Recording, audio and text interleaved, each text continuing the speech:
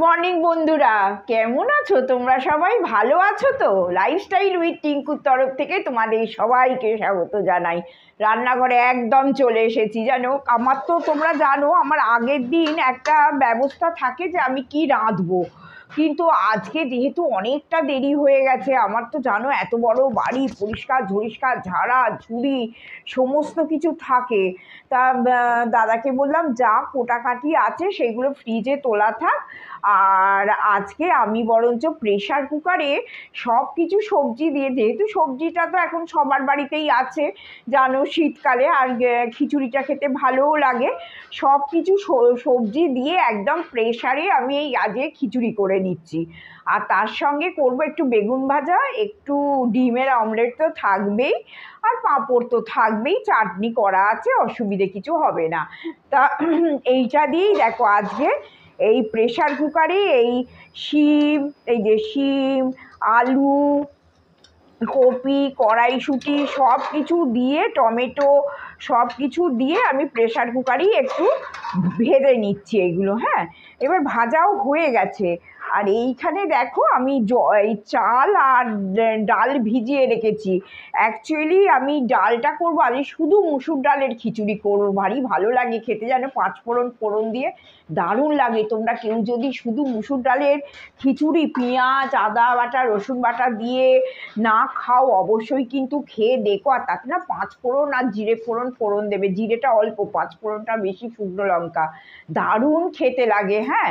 আর একটাও জিনিস হচ্ছে, তোমাদের সেই একবার বলেছিলাম না যে আমার এখান থেকে এই যে আদা রসুনের পেস্ট পাওয়া যাচ্ছে না বিগ বাস্কেটে অর্ডার দিয়েছিলাম। এটা প্রায় এক কেজি নশো। তা এই আদা রসুনের পেস্টটা এসে গেছে কালকে। তা আমি ভাবলাম যে যখন এতে তো আমি দেবই, নাহলে আমি এখান থেকে ছোট ছোট পাউচ কিনে করছিলাম। তা যে এতে দেবো বলে বার করলাম, তা ভাবলাম যে ঠিক আছে, বন্ধুদের সঙ্গে শেয়ার করে দিই, তোমরাও করতে পারো আদা। ওই রসুন ছাড়ানো না একটা সাংঘাতিক চাপের কাজ।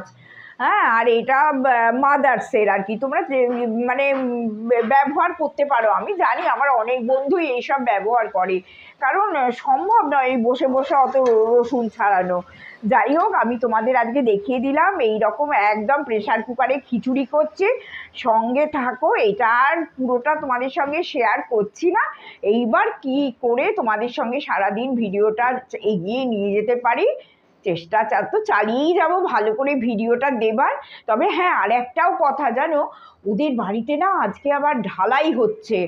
প্রচুর মিস্ত্রি এসছে ফ্ল্যাটটা আর কি, প্রচুর মিস্ত্রি এসছে। ওই আর আর জানো তো, ঢালাই হলে যেমন মেশিনের আওয়াজ হয়, তেমন মিস্ত্রিরা চেঁচায় তা সেই সব চলছে, জানি না এখন মানে দেখলাম মেশিনটা একটু বন্ধ হয়েছে। তাহলে আমি ভিডিওটাও স্টার্ট করি, যে হু করে চালিয়ে দিয়েছে। আমি তখন ভাবছি যে যে গেল আজকে আজকে তো আর আমি কোনো কিছু ভিডিও শ্যুট করতে পারব না, এত আওয়াজ। তা এখন যে দেখছি একটু বন্ধ হয়েছে, যেমনি বন্ধ হয়েছে, সঙ্গে সঙ্গে আরম্ভ করে দিয়েছি ভিডিওটা। তোমরা তো দেখলে যে আমি খিচুড়িটা রাঁধলাম, আজকে এই আওয়াজ, বুঝতে পারছ? প্লিজ একটু ইগনোর করো।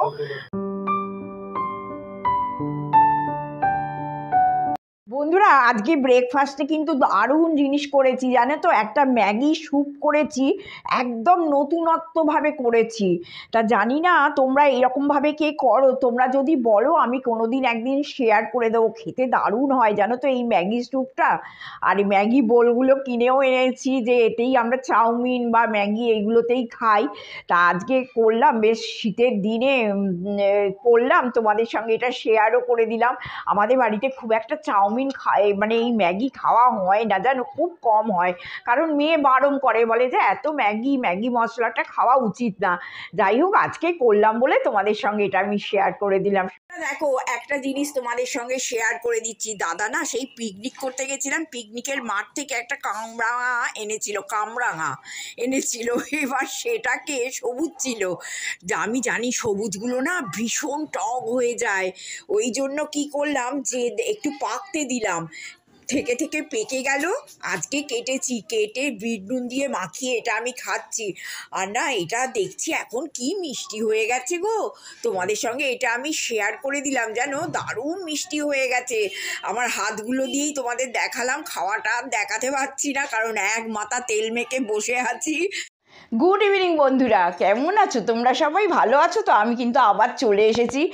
একটা প্রবলেমে পড়েছি, জানো? সেই প্রবলেমটা হচ্ছে যে, সামনে সরস্বতী পুজো। এবার সরস্বতী পুজোয় তো একটা নেমন্তন্ন আছে, তোমাদের আমি বলেইছিলাম তা সেই নেমন্তন্ন যাব। এবার শাড়ি বাঁচতে বসেছি। শাড়ি আর কিছুতেই পছন্দ হচ্ছে না। সব আলমারি ফালমারি খুলে যে, দেখো না, এইখানেও একটা শাড়ি নিয়ে বসে পড়েছি। এই যে, একটা বেনারসি। তা দাদা বলছে যে, দেখো, কোনো রিলেটিভের মধ্যে গেলে বেনারসি ফেনারসি বেনারসি পরা যায়। এই, এইটা হচ্ছে পাটলি পাল্লু আর কি হ্যাঁ? বডিটা হচ্ছে এই কালারটা মানে অফ হোয়াইটের মধ্যে। এই কালারটা আর এইটা কুঁচিতে পড়বে। তা আমার মেয়ে এক বছর না এইটা আমাকে প্রেজেন্ট করেছিল গিফট করেছিল আর কি, দিয়েছিল। তাই দেখো আঁচলটাও এইটা।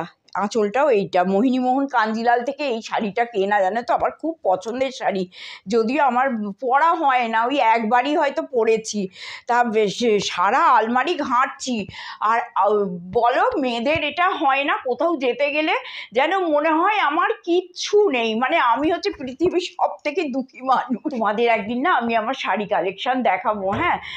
এইটাও একটা চিন্তা করছে, এই যে এইটা আমার সম্পূর্ণ একার মানে আলমারি। যেন জানো তো, এইখানে শুধু আমি একাই আমার শাড়ি টাড়ি রাখি। এই ওভারঅল তোমাদের একবার দেখিয়ে দিলাম। এই যে ওভারঅল তোমাদের একবার দেখিয়ে দিলাম সে আমার শাড়ি এতে আর এই দিকেও কিছুটা শাড়ি আমার আছে। তা আবার দাদাকে ওইটা বাদ দিয়ে আবার এইটাও বলছিলাম যে এই এই দেখো, এই শাড়িটাও, এটাও আমার খুব একটা প্রিয় শাড়ি, জানো তো? মোহিনীমোহন কাঞ্জিলাল থেকে কিনেছিলাম এটাও। তা খুব কস্টলি এই শাড়িটা। তা ভাবছি যে এত গরজার শাড়ি পরে যাওয়া যাবে না। মানে কি বলতো? রিলেটিভ ফিলেটিভের বিয়েতে হলে তাও একটা হয়। কিন্তু মানে একদম দাদার ভাইয়ের মতো একজন তো, তা সে বলেছে একজন সাধারণ শাড়ি পরে যাওয়াই ভালো। আর এবারে বলো, সরস্বতী পুজো কিন্তু এসে গেল। তোমাদের কার কি চিন্তা ভাবনা আছে গো সরস্বতী পুজোয়? আর আমাদের এবারে ছোট্ট ছোট্ট ভাই বোনেরা ছোট্ট ছোট্ট বাচ্চারা কিন্তু এবারে খুব আনন্দ।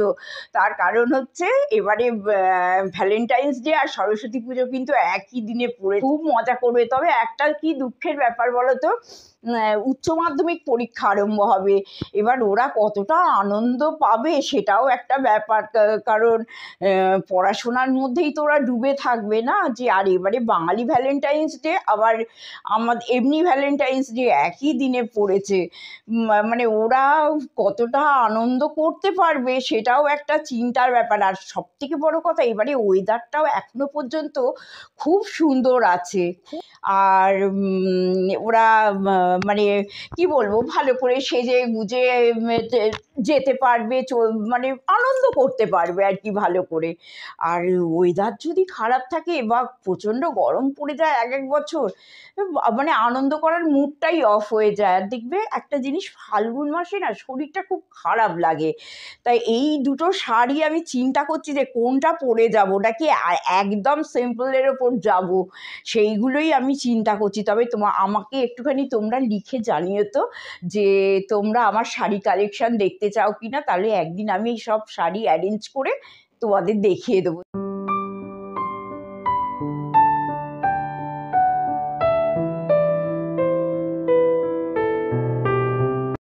গুড ইভিনিং বন্ধুরা। তোমাদের কাছে আবার চলে এলাম, ভিডিওটা শেষ করতে হবে। তা একটু ডিনার ফিনার করে দিলাম। আজকে খুব একদম সাদাসিদের ডিনার একটু ব্রেড টোস্ট মানে অমলেট করেছি। এই যে দেখেছ? এই যে যে কোয়ার্টার পাউন্ড যে ব্রেডগুলো পাওয়া যায় না ওইগুলো দিয়ে আর অমলেট দিয়ে এই এইটা করেছি। আজকের এইটাই আমাদের ডিনার আর কালকে পায়েস করেছিলাম এই পায়েস আছে আর এই সস এই নিয়ে আজকে এই যে হ্যাঁ হ্যাঁ সেইটা আছে আর এই সস আছে।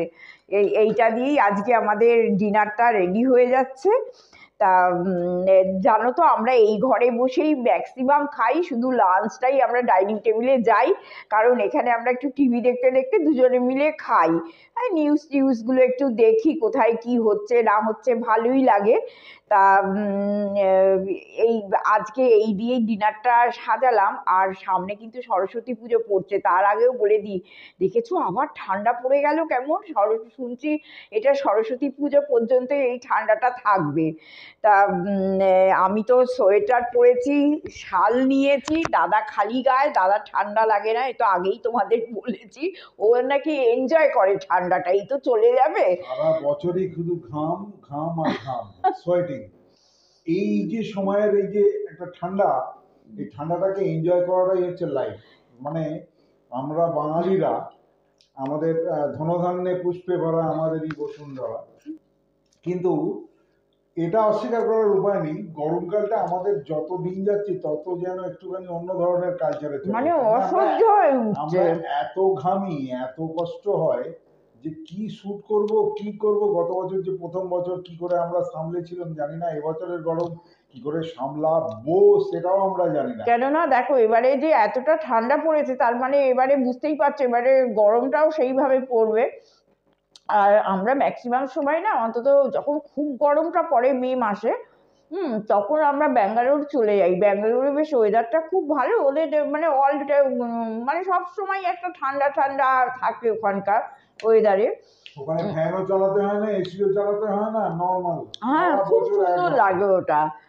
তা আমরা মেয়ের কাছে ব্যাঙ্গালোরে চলে যাই। তা দেখা যাক এবারে আবার কি করি বুঝতে পারছি না। আর তোমরা তো জানো আমার সিওপিডি আছে। এবার গরমে না নিঃশ্বাসের একটা কষ্ট হয়। সে একটা কেমন কেমন লাগে যেন শরীরটা।